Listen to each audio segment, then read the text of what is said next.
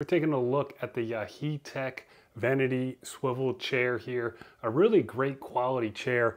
The seat here is made from a synthetic leather and has this beautiful button pattern stitched throughout. Really great quality. The stitching looks really nice. The fabric feels very soft and the cushion itself is actually really comfortable as well.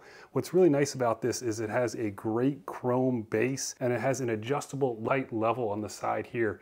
Really simple to use. All you have to do is when you sit on it, just hit this lever and it's gonna adjust it all the way down. The lowest is about 12 and a half inches and the highest is about 18 inches. Now to raise it back up, all you need to do is lift your weight up off of the chair, hit this switch again, and it'll raise the chair all the way back up.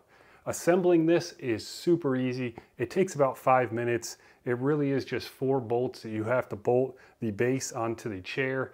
Everything else is pretty much assembled and it comes with all the tools that you need to do it.